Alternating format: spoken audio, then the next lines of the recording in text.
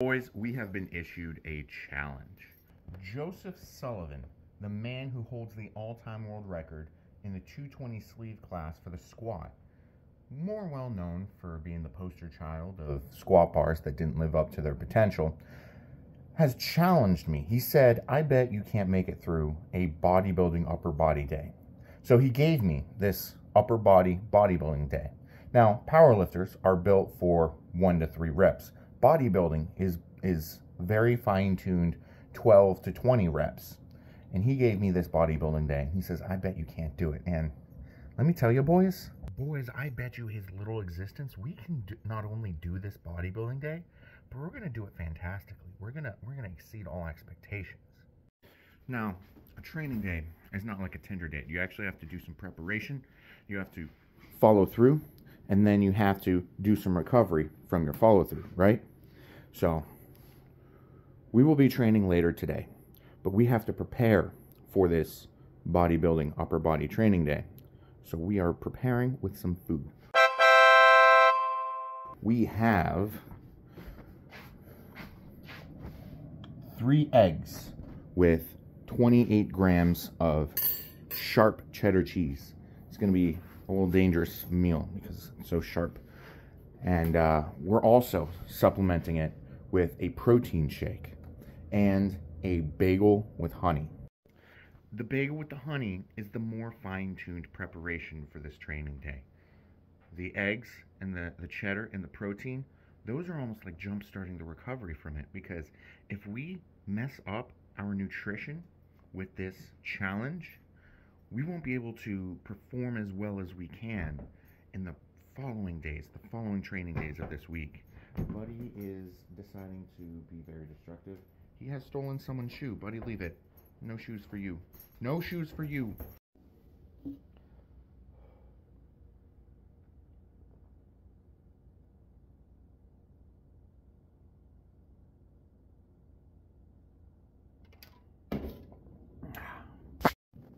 I swear, this is the cleanest way to eat a bagel. Otherwise, the honey dribbles off the side of the bagel and gets all in the beard and... Lord have mercy. It is always a good idea after a meal to take a bit of a walk. We got Buddy here. He needs his steps in for the day. I need my steps in for the day. So we're prepping for this challenge. And um, we just ate. And when you go for a walk after you eat, you increase your metabolism, you get the blood flow going, you digest a little quicker, more efficiently. So we got those calories in. We're prepping for this challenge.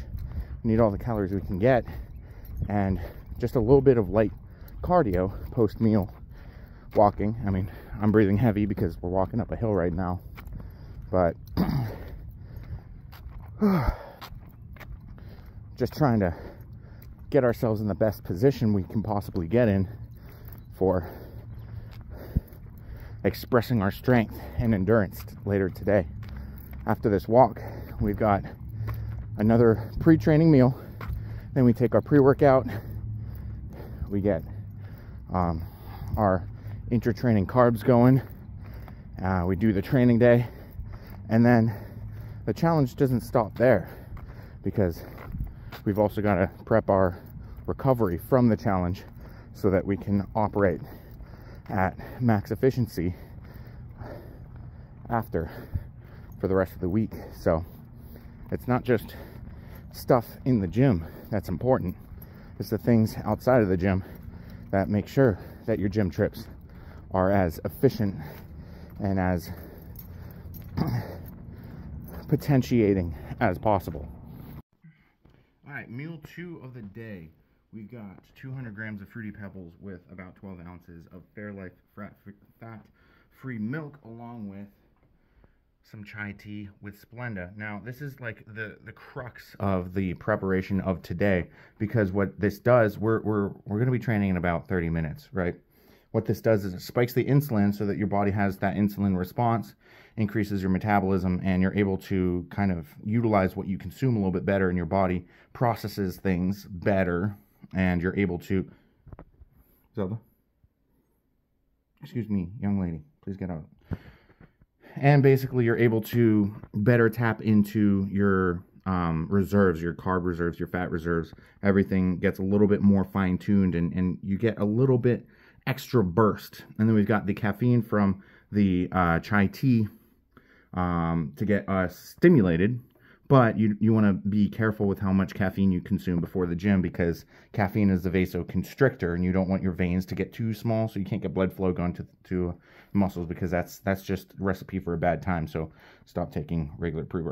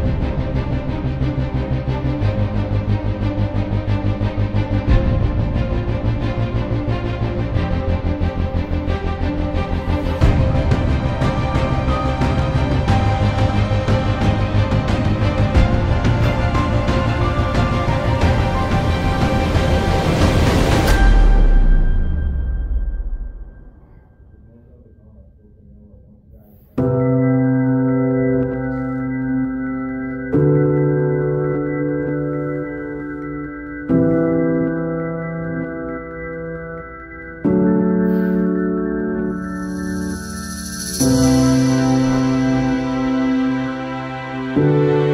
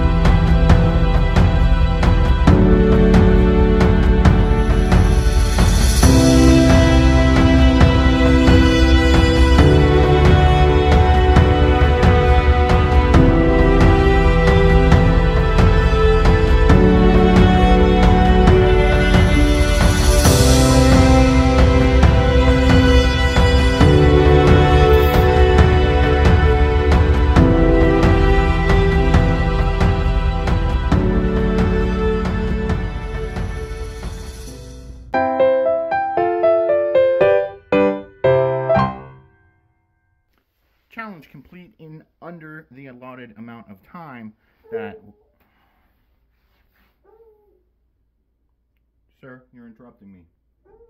He knows. We were given an hour and a half time limit, right? You can't do this in an hour and a half. Boys, we did it in somewhere between an hour and 15 and an hour and 20 minutes. And if you don't believe me, I start my rice after my um, Fruity Pebbles meal. And it says that it's only been cooked for an hour. So, definitely below, I mean, definitely below two hours, but we, we win. We won. And we got a pretty nice pump. But the challenge does not stop there because we don't want our participation in this challenge to negatively affect our training for the rest of the week. We've got a squat day tomorrow. We've got a pretty intense squat day scheduled for tomorrow. We don't want today to lead bleed into tomorrow, fatigue wise. So we've got to eat food, but not but, but like we've we've got to eat food. We've got to do our recovery stuff and make sure that we are well recovered in order to perform optimally for tomorrow. But also, I um I forgot to prep my food for the week. So we're also going to be doing that today. I was busy uh, moving my father-in-law yesterday, and I was also on a podcast yesterday. That was super fun. And then afterwards, I went to the store and then Domino's because I got a cheat meal for the day. So pretty good day yesterday. But I'm gonna do some meal prep and follow along for the recovery process. We've got six pounds of chicken seasoned with McCormick or Grillmate, yeah, McCormick Grillmates roasted herb and garlic seasoning, seasoned on both sides. Actually, the other side is seasoned with buttery garlic and herb from Kinder's, but I, I ran out. So we, we made do with what we had left. Kinder's is better. And then we've got this big old pot, big old pot of uh, seven pounds of beef, 93.7 beef, uh, spiced with uh, salt and pepper. Since I utilize my beef in so many different ways, I can't get oh, I can't get like fancy with my um, with my seasoning because I could be using it with eggs, which I'll spice as I go. I could be using it with rice and guacamole, which I'll spice as I go. I'll use it with um, pasta sauce and pasta, and I'll spice that as I go. So salt and pepper, pretty basic. It's all you need. Everything else is just a little tweak. But the uh, the chicken, that's always with rice, sauerkraut, and honey mustard. So pretty much anything's good with that. We've got 245 grams of chicken, two scoops of sauerkraut, 400 grams of Calrose rice, and a Diet Coke. But it is also as essential as anything to watch One Piece while you're eating. It's part of the recovery process. Trust me, I'm bigger than you. Buddy over there is a gaslighter. He convinced me. I finished my food. He immediately sat on my lap and he said, We're taking a nap now. Buddy, leave it. And um, I obliged. Okay, he, he exists here now. But naps always a good idea for recovery. There is never a bad time to take a nap when it comes to recovering from lifting, for lifting, anything lifting related. Nap time is always good. We now have to go to work today. And let me tell you a little something about work. So I'm an audiobook narrator, right? And um, a lot of meditation and a lot of those far eastern concepts of affecting your heartbeat and your centering your mind is an abuse of the sympathetic and parasympathetic nerv- nervous system, which is almost like a video game controller um, connected to your breathing. And there's an elevation to it as well, where if you read for 10 minutes out loud for a day, you also get a bit more clarity and it centers your mind a little bit more too. So I chose to be a audiobook narrator. Um, I always wanted to be a, a voice actor as a child, and this seems like a step towards that goal. And finally, making little Patrick happy, and um, so it does. It's twofold. It's fulfilling dreams, and it's also getting that um, that that meditative.